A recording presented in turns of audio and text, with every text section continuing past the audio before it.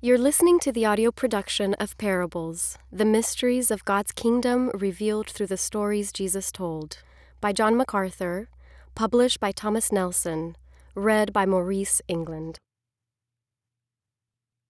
Introduction Why did Jesus teach in parables, and how can we interpret them rightly? Jesus' parables were ingeniously simple word pictures with profound spiritual lessons. His teaching was full of these everyday stories. Some of them were no more than fleeting remarks about commonplace incidents, objects, or persons. In fact, the most compact of all Jesus' short stories does not even fill a complete verse of Scripture. It is found in Matthew chapter 13, verse 33. The kingdom of heaven is like leaven, which a woman took and hid in three measures of meal till it was all leavened. In the original Greek text, that parable is just 19 words. It is the most ordinary of anecdotes about the most common of activities told in the fewest possible words. But it contains a profound lesson about the mysteries of the kingdom of heaven. Like all Jesus' parables, it captivated his hearers and has sustained the interest of Bible students for 2,000 years. Jesus was the master storyteller. There's not a truism so familiar or a doctrine so complex that he could not give it new depth and insight through the telling of a simple story. These narratives epitomize the plain, powerful profundity of his message and his teaching style. Sloppy thinking about the parables. Despite the popularity of the parables, both the method and the meaning behind Jesus' use of these stories are frequently misunderstood and misrepresented, even by Bible scholars and experts in literary genre. Many assume, for example, that Jesus told parables for one reason only to make his teaching as easy, accessible, and comfortable as possible. After all, the parables were full of familiar features easily recognizable scenes, agricultural and pastoral metaphors, household items, and common people. This would naturally make his words simpler for his provincial audience to relate to and grasp. It was without question a brilliant teaching method, unveiling eternal mysteries for simple minds. Jesus' parables certainly do show that even the simplest stories and illustrations can be effective tools for teaching the most sublime truths. Some suggest that Jesus' use of parables proves storytelling is a better method for teaching spiritual truth than didactic discourses or sermonic exhortation. Stories, they say, pack more punch than sermons. Want to make a point or raise an issue? Tell a story. Jesus did it.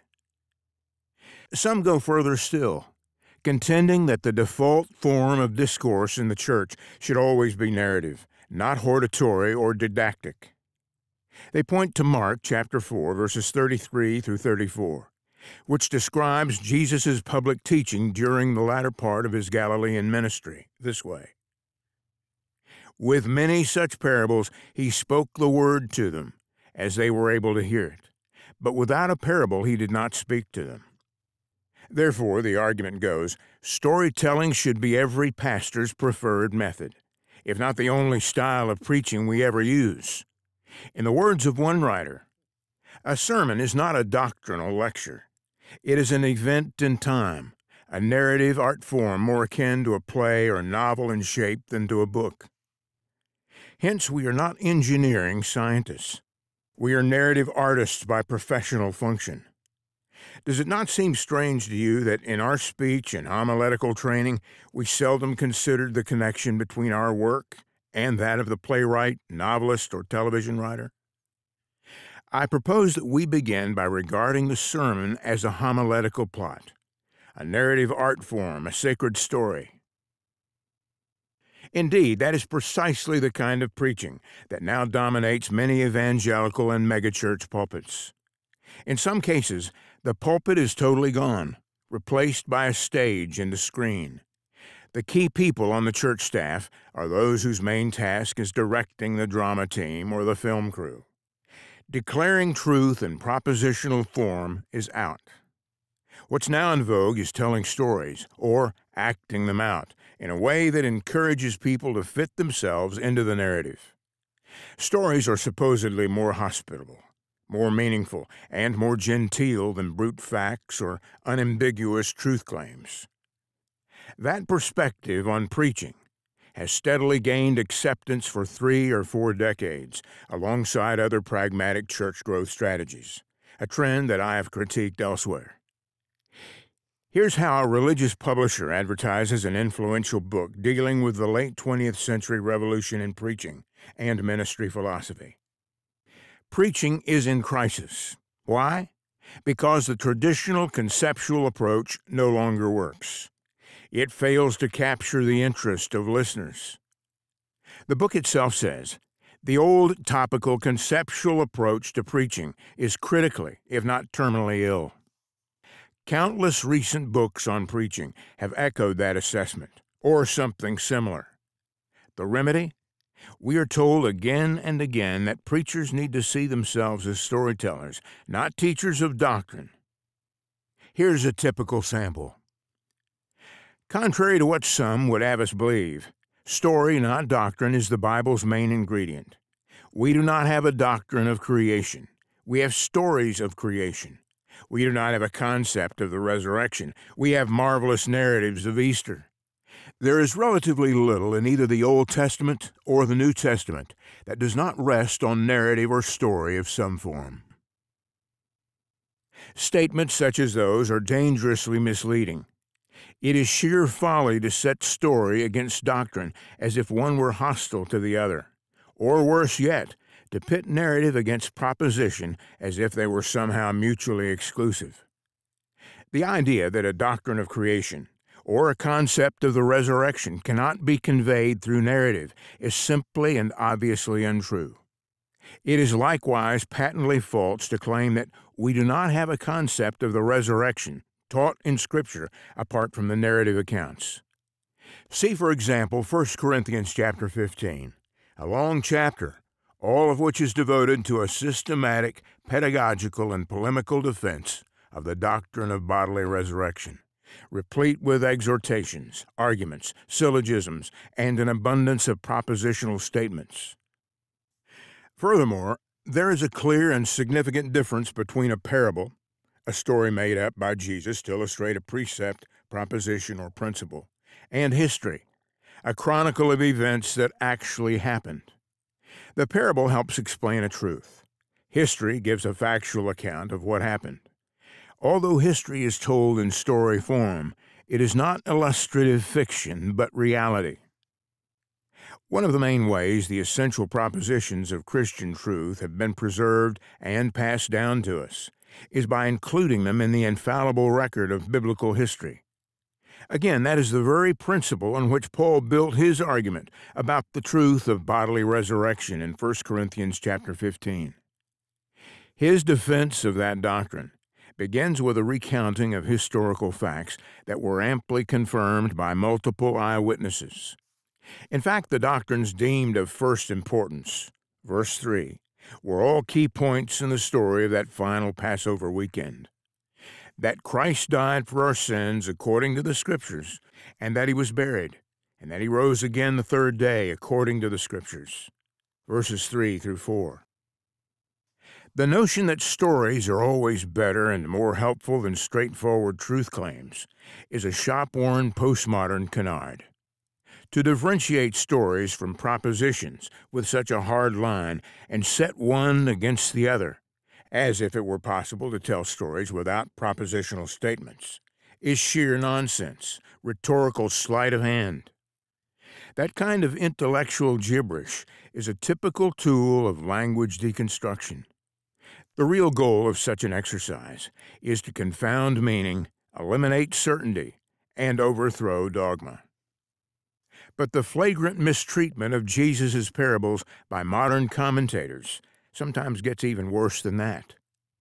An even more radical view, rapidly gaining popularity in these postmodern times, is the notion that stories, by their very nature, have no fixed or objective meaning. They are entirely subject to the hearer's interpretation. By this way of thinking, Jesus' use of parables was a deliberate repudiation of propositions and dogma in favor of mystery and conversation. One commentator says it like this It is the nature of narrative to lend itself to an auditor's imagination and become whatever the auditor wants it to be, in spite of the narrator's intention. Narratives are essentially polyvalent and therefore subject to a wide range of readings. That same author cites other commentators' varying interpretations of Jesus' parables and cynically declares parables work any way interpreters and auditors want them to work. In spite of whatever Jesus may have intended with them, we simply do not know how Jesus used parables and clearly have no hope of ever discovering his intention. He's not finished. Interpreters of parables are not telling readers what Jesus actually meant with a parable. They simply do not and cannot know that. Interpreters describe what they think Jesus meant, something vastly different. An explanation is evoked in a particular reader's mind from an engagement with a parable, and responses depend as much on what that interpreter brings to the parable as on what the parable itself says, perhaps more so. Had the interpreter been present in the audience when Jesus first spoke the parable, the situation would have been no different. My hypothetical modern interpreter, whom I've just taken back in time to the feet of Jesus, would still have to make sense of the parable as interpreters do today. Then, as now, others in the audience would have had rather different responses. In this sense, the situation with interpretations of parables today is identical to what would have been the case in the first century. Thus, no right interpretations of the parables of Jesus ever existed. By right, I mean interpretations that capture Jesus' intent. Given the nature of narrative, no one explanation of a parable can rule out all others. Why anyone who holds such a view would bother writing a book on the parables is a mystery to me, I confess. If a person rejects the propositional truth being illustrated by a parable, of course it remains an open riddle. The problem is not that the parable has no true meaning, but that those who come to the story with a heart fixed in unbelief have already rejected the truth the parable was given to illustrate. The view that author is advocating is an exaggerated version of reader response criticism, another favorite tool of postmodern language deconstruction. The underlying idea is that the recipient, not the author, is the one who creates the meaning of any text or narrative. It's a two edged sword. If applied consistently, that approach to hermeneutics would expose the incomprehensibility of the commentator's own prose. At the end of the day, it is just another expression of the postmodern agenda to confound rather than clarify meaning motivated by a stubborn rejection of biblical authority and inerrancy. Why parables? All of the above views are wrong, and dangerously so, because they take only part of the truth into account. Consider, for example, the common belief that the sole reason Jesus used parables was to make hard truths as clear, familiar, and easy to grasp as possible. When Jesus himself explained why he spoke in parables, he gave practically the opposite reason. The disciples came and said to him, Why do you speak to them in parables? He answered and said to them, Because it has been given to you to know the mysteries of the kingdom of heaven, but to them it has not been given. For whoever has, to him more will be given, and he will have abundance. But whoever does not have, even what he has will be taken away from him. Therefore I speak to them in parables, because seeing they do not see, and hearing they do not hear, nor do they understand. And in them the prophecy of Isaiah chapter 6 verses 9 through 10 is fulfilled, which says, Hearing you will hear and shall not understand, and seeing you will see and not perceive. For the hearts of this people have grown dull, their ears are hard of hearing, and their eyes they have closed lest they should see with their eyes and hear with their ears, lest they should understand with their hearts and turn, so that I should heal them. Matthew chapter 13, verses 10 through 15. While the parables do illustrate and clarify truth for those with ears to hear, they have precisely the opposite effect on those who oppose and reject. We hope you enjoyed this preview. To continue listening to this audiobook on Google Play Books, use the link in the video description.